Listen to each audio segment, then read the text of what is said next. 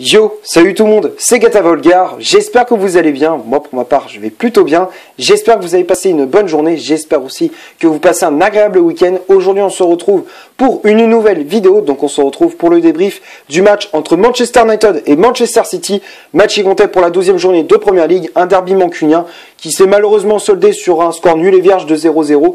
Voilà, donc euh, au classement, Manchester United qui pointe à la 8 place de ce championnat, voilà, avec euh, une égalité point par rapport à Everton 7e et West Ham 6e, mais bon, voilà, c'est quand même assez serré dans, par rapport au, comment dire, à ce qu'on pensait. Manchester United qui voilà qui a que 2 points de retard par rapport à Chelsea 4e et seulement 5 points de retard par rapport au leader Tottenham. Donc voilà, tout reste jouable, tout est encore possible. Il n'y a pas de, il a pas quoi être euh, inquiet, voilà. Donc il euh, n'y a, y a pas de raison d'être inquiet. Donc voilà, donc euh, au fur et à mesure des, rencontres, même si voilà, on sent que les joueurs ils, sont un peu fatigués, voilà, ça se voit qu'ils sont fatigués, qu'ils sont, un peu cramés. Donc voilà, donc on, espère en tout cas ça va, ils vont avoir le temps de récupérer et ensuite d'enchaîner les matchs avec, on espère en tout cas des victoires et remonter petit à petit au, classement. Voilà, donc euh, pour en revenir à ce derby euh, de Manchester, voilà, donc euh, le derby des, des, des, deux clubs de Manchester, voilà, donc ça a été un match assez pauvre, voilà, donc pas grand chose à dire dans, dans, les, dans ce match, voilà, pour débriefer un petit peu ces 90 minutes. Voilà, bon, 45 premières minutes où Manchester United a quand même a quand même souffert. Voilà, surtout en termes d'occasion, en termes de, de comment de de, de phase défensive, ils étaient un peu en difficulté. Voilà, donc euh, c'est vrai que Manchester City avait énormément, euh, avait énormément eu d'occasions. Voilà, donc euh, c'est vrai que Manchester City avait la possession du ballon, ils se sont créés des occasions, notamment avec Riyad Mahrez, avec Kevin De Bruyne ou encore Raheem Sterling, mais malheureusement ils ont buté sur la défense de, Manchester United qui est quand même restés très solides, voilà, donc ils sont restés solidaires, on peut dire ça comme ça. Voilà, bon, c'est vrai qu'on a eu très très chaud du côté de, Manchester United, même si voilà, ils se sont pas laissés faire.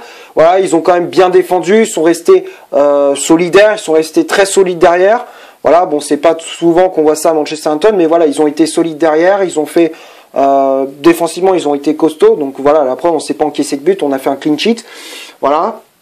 Après, offensivement, bon, euh, c'est vrai que c'était pas trop ça du côté de Manchester United. Euh, même s'il y a eu des occasions de Rashford, de Pogba, de Bruno Fernandes, voilà, même si voilà, on avait quelques opportunités, malheureusement, bon, c'est soit c'était pas cadré, soit on butait sur la défense de Manchester City, ou soit c'était le gardien euh, qui, qui était sur le, le passage des, des attaquants de, de Man United. Voilà, donc malheureusement on n'arrivait pas à trouver de solution, on n'arrivait pas à avoir de la créativité. C'est vrai que le, jeu de Manchester United était assez pauvre, voilà, en termes de créativité, alors que pourtant on a des joueurs qui, dans quand tu voyais le, le 11 sur le papier, on a quand même des joueurs créatifs comme Paul Pogba quand il est dans un bon jour, comme Bruno Fernandes, Marcus Rashford, euh, Fred aussi qui peut apporter de la créativité au milieu de terrain. Voilà, donc c'est vrai que sur le papier, on avait, de quoi faire, mais sur le terrain, c'était autre chose. Voilà, on voyait un Paul Pogba des fois qui perdait des ballons un peu bêtement, euh, Bruno Fernandes qui avait un peu de déchets techniques, on voyait qu'il était un peu euh, fatigué aussi, voilà, avec l'enchaînement des matchs et tout, forcément parce qu'il est quasiment tous les euh, tous les matchs, il est titulaire, donc forcément c'est compliqué pour lui d'enchaîner les les rencontres. Après, voilà, c'est Offensivement, bon, c'est vrai qu'il manquait aussi un Edinson Cavani, voilà, qui malheureusement est blessé. Martial qui, voilà, qui faisait son retour, mais il n'était pas titulaire d'entrée. Voilà, heureusement que Solskjaer n'a pas fait cette, euh, cette bêtise-là de l'avoir mis d'entrée parce que euh, on ne sait pas trop si voilà il allait être euh, à 100%, s'il allait faire la différence et tout. Bon, il est rentré en, en cours de match.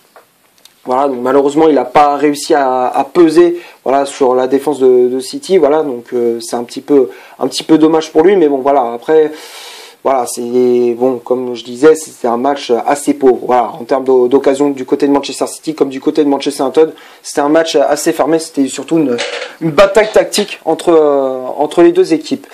Voilà, donc euh, un score nul et vierge. Voilà, donc c'est assez assez logique. Voilà, si on peut dire ça comme ça, euh, pour résumer un petit peu, résumer en un mot cette, cette rencontre. Voilà, donc on va passer maintenant à la composition d'équipe que Ole Gunnar Solskjaer a aligné pour ce Manchester United Manchester City, donc le, le derby mancunien. Donc ça a été un 4-3-1-2, voilà, le fameux, comme ils disent, 4-4-2 en losange, avec David Derrea dans les buts de Manchester United. Charles central, euh, Victor Lindelof associé à Harry Maguire. Maguire qui a le brassard de capitaine. Les latéraux, Wan-Bissaka à droite, Luke Shaw à gauche, à la place d'Alex Teles laissé sur le banc.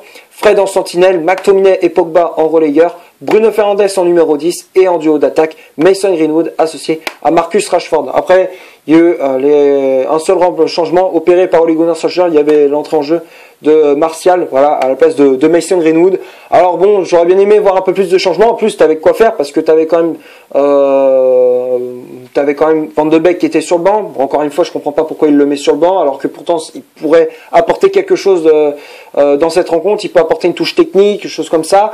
Juan Mata aussi, tu pouvais faire rentrer Juan Mata qui aurait apporté sa, sa créativité au milieu de terrain, qui voilà, avec une avec Bruno Fernandes, il y a toujours une bonne connexion. La preuve contre West Ham euh, lors du, du week-end dernier, ça a été ça. Voilà, tu voyais qu'il y avait une bonne connexion entre eux et tout. Voilà, tu voyais qu'il y avait quoi faire. Mais bon, après, Solskjaer, je ne sais pas ce qu'il qu'il avait en tête. Est-ce qu'il voulait protéger euh, les remplaçants pour les faire jouer, euh, bah justement euh, dans comment dire la, semaine prochaine, voilà, en faisant jouer les remplaçants contre Sheffield. Voilà, je crois que c'est jeudi, me semble, le, match. Donc donc voilà, donc peut-être il fait tourner effectif, je ne sais pas, mais en tout cas voilà, c'est des choix un petit peu bizarres de la, de la part de, de ce genre de pas faire plus de, changements, de plus de changements, alors que pourtant c'était un match assez important. C'est pas n'importe quel match, c'est quand même le, derby de, de, Manchester et bien évidemment il faut montrer qu'il y a un seul club en, de Manchester et c'est bien évidemment Manchester United. Voilà, donc, euh, on va passer maintenant aux statistiques de cette vidéo. Donc, on va commencer par celle de Manchester United. Les Red Devils, c'est 46% de possession balle, euh, 4 corners, 8 tirs au total, donc 2 tirs cadrés seulement. C'est très très pauvre. Voilà, du, côté de, Manchester United. Euh, 2 positions de leur jeu et 13 fautes commises. Donc, tout ça, c'est du côté de Manchester United. Et du côté des Citizens, du côté de Manchester City, c'est 54% de possession balle, 3 corners, 7 euh, tirs au total, donc 3 tirs cadrés, 2 positions de leur jeu et 6 euh, fautes commises. Donc tout ça, c'est du côté des Citizens.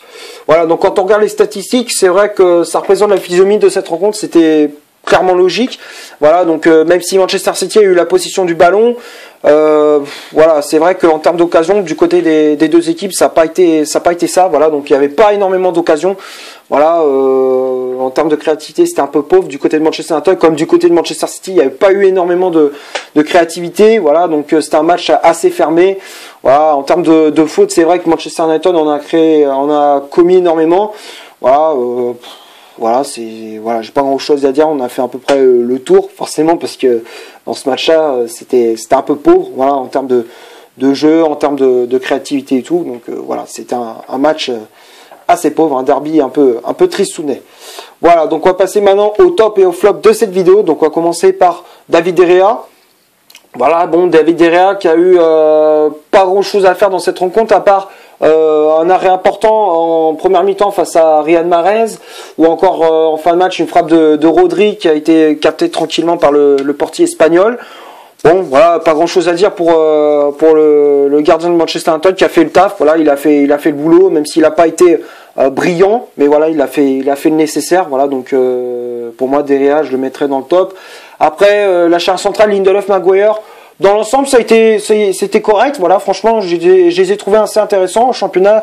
Même si voilà, contre Leipzig, Leipzig pardon, en Ligue des Champions, ils sont passés à, côté. Voilà, dans ce match-là, ils étaient totalement à la rue. Mais voilà, pour parler de ce match face à City, ils ont été corrects, ils ont été assez solides dans l'ensemble. Maguire qui a fait parler son physique, qui a fait parler son agressivité, son caractère. Voilà, donc il a fait parler son, euh, il a, il a fait parler son agressivité sur le terrain. Voilà, il a montré qu'il s'était patron en défense. Voilà, donc euh, c'est ce qu'il fallait faire dans ce match-là, il l'a montré. Voilà, donc pour moi, Maguire, je mets dans le top. Après, Lindelof aussi, qui a fait parler son agressivité. C'est pas souvent qu'on voit un Lindelof agressif, mais voilà, sur ce match-là, il a montré de quoi il était capable. Il a montré euh, une bonne partie de ses capacités, voilà, qui faisait des relances assez correctes. Euh, il faisait beaucoup de, de récupération de balles, d'interception. beaucoup de duels gagnés aussi, voilà, tout comme Maguire. Voilà, j'avais oublié de le préciser pour, pour le capitaine des Red Devils. Mais voilà, dans l'ensemble, euh, voilà, ils ont fait une, bonne, euh, une bonne performance. Voilà, donc pour moi, Lindelof et Maguire, les deux, j'ai mis dans le top. Après, euh, Wan-Bissaka et Luke Shaw, dans l'ensemble, les deux, ils n'ont pas été mauvais. J'ai préféré Luke Shaw, mine de rien. Voilà, c'est vrai que c'est vrai que j'ai pas, je suis pas un grand fan de Luke Shaw. C'est vrai que si tu veux me choisir entre Luke Shaw, Teles et Brandon Williams, j'aurais choisi Teles, bien évidemment. Mais voilà, c'est vrai que Luke Shaw, il m'a fait quand même mentir dans cette rencontre. Il m'a fait quand même, euh, il m'a fait mentir. Il a fait une bonne prestation. Franchement, c'est c'est pas simple. Sur son côté, il avait quand même Ryan Mahrez, voilà, euh, qui est un joueur qui dribble énormément, qui voilà, qui apporte de la créativité, qui est assez vif. Voilà, sur ce coup-là, il a été dans ce match-là, il a été, euh, il a été intéressant. Il a fait de bonnes interventions, beaucoup d'interceptions, beaucoup d'agressivité aussi sur son côté. Voilà, donc Luke Shaw qui a, qui a fait un match intéressant. J'ai préféré le match de Luke Shaw par rapport à celui de d'Aaron Wambis où il s'est fait un petit peu manger par Sterling, mais après il a quand même réussi à le, à le, comment dire le, masquer, on va dire ça comme ça, euh, il a essayé, il a quand même réussi à le, à le, à le bloquer, voilà, si on peut dire ça comme ça. Euh, il a fait quand même de bonnes interventions, il a récupéré pas mal de ballons euh, sur son côté, il a apporté aussi offensivement, même si les centres c'était pas trop ça non plus. Voilà, donc voilà, donc pour moi Wambisaka je mettrai dans, dans, le top quand même. Après, euh, le milieu de terrain, Fred, McTominay, Pogba et Fernandez, le milieu de terrain en, diamant. Dans l'ensemble, ils n'ont pas été mauvais non plus. Alors Fred, c'est vrai qu'il a fait énormément bien. Quand tu vois que, que Fred n'est pas là au, milieu de terrain, c'est vrai que Manchester United, il y a un petit manque. Mais voilà, voilà, Fred, il a fait quand même son match, il a apporté sa créativité, il a mis de l'agressivité. Voilà, il a fait quand même pas mal de gestes techniques. Euh, il a, il, dans l'ensemble, il a fait un match assez propre. Voilà, tout comme euh, tout comme Scott McTominay, voilà, euh, McTominay qui a fait de, de bonnes récupérations de balles, qui a apporté euh, son agressivité au milieu de terrain. Voilà, donc euh, moi j'ai trouvé McTominay et Fred très intéressants, voilà. Après Pogba, bon c'est vrai que c'était pas trop ça non plus, voilà, on, on, on voyait un Pogba à 60%, 65%, on va dire ça comme ça. Mais après, il n'a pas été dégueu non plus au milieu de terrain. Il a quand même proposé des solutions. Il a, récupéré pas mal de ballons au milieu de terrain aussi. Voilà, il s'est projeté pas mal de fois vers l'avant. Même si voilà, il y avait quand même, comme je disais, quelques déchets techniques. Des fois, il perdait un peu le ballon bêtement, des choses comme ça. Mais après, il n'a pas été mauvais. Franchement, on a vu un Pogba qui était, euh, qui était pas mauvais. Il n'était pas flamboyant, mais il n'était pas mauvais non plus. Voilà, donc euh, moi j'ai trouvé un Pogba assez intéressant. Voilà, donc pour moi Pogba je mets dans le top. Fernandez, bon, euh, Fernandez on l'a, la, moi j'ai vu un Fernandez qui était pas mauvais, mais tu voyais qu'en en termes de, de, distribution de balles et tout, c'était pas comme d'habitude où tu voyais qu'il était, voilà, il était euh, agile, qu'il avait de la vivacité et tout. On voyait un Bruno Fernandez un petit peu plus mou, un peu ralenti, on va dire ça comme ça. C'était, c'était pas trop ça. Voilà, tu voyais, c'était pas comme d'habitude. Tu voyais que d'habitude, dès qu'il a le ballon, hop, en une touche de balle, ça part direct. Là, tu voyais qu'il ralentit, par moments, il ralentissait un peu le jeu de Manchester United, obligé de repasser à chaque fois à l'arrière. C'est un peu dommage, mais bon, après, c'est vrai qu'il n'a pas été mauvais non plus. Il a quand même récupéré pas mal de ballons au milieu de terrain. Il s'est projeté pas mal de fois vers l'avant. Bon, voilà, un Bruno Fernandez qui n'a pas été mauvais, mais voilà, on va pas, on va pas, c'était un petit peu, c'est un niveau euh, en dessous par rapport au match comme il avait fait contre contre West Ham le, week-end dernier. Donc voilà, donc euh, pour moi Fernandez, je mets dans le top. Après le duo d'attaque Rashford Greenwood, voilà, match pas terrible, voilà, de Marcus Rashford. Pour moi, c'est l'un des flops de, de, de cette rencontre. Marcus Rashford qui a eu quelques occasions quand même à à, concrétiser. Malheureusement, il n'a pas réussi. Franchement, c'est quand il voyait, quand il a des occasions comme ça, normalement, il doit les mettre au fond. Voilà, c'est même si voilà, t'as pas énormément de ballons, tu peux quand même faire la différence sur le peu de ballons que t'as. Normalement, tu peux faire la différence avec les ballons qu'il avait distribués par Fernandez, par Pogba ou encore Fred. Normalement, il doit faire la différence. Là, sur ce coup-là, il l'a pas fait et il y a quoi avoir des regrets pour euh, pour lui. Voilà, donc il peut avoir des regrets. Voilà, donc match pas terrible de la part de Rashford, donc pour moi je mettrais dans flop. Greenwood aussi qui a été décevant, voilà, match pas terrible de, la part de Mason Greenwood, je m'attendais à mieux. Voilà, le week-end dernier, bon c'est vrai qu'en première mi-temps il été pas terrible contre euh, West Ham, mais après en second mi-temps il avait bien fini euh, ce match. Voilà, et sur ce coup-là, bon, on a retrouvé le Mason Greenwood un peu, euh, un peu nonchalant, un peu, voilà, décevant, un peu mou, on va dire ça comme ça. C'est vrai que des fois, par moments, il était un peu mou. Dès qu'il avait le ballon, il savait pas trop quoi faire. Euh, même si des fois il essayait de proposer des solutions, voilà, c'était pas ça quoi. Tu voyais qu'il des fois aussi il ralentissait le jeu de, Manchester United en faisant au lieu de faire des passes en une touche de balle, des fois il faisait euh, par exemple 4-5 touches de balle avant de passer son ballon. Voilà, c'était c'était pas trop ça. Voilà, un Mason Greenwood un peu un peu décevant dans, dans cette rencontre. Donc pour moi, je le mettrais dans flop et Martial, voilà, Martial qui a été aussi un petit peu décevant même si voilà, tu me diras, il revient de blessure, il n'était pas à 100%. Mais voilà, sur certains moments, tu voyais qu'il perdait un peu le ballon bêtement.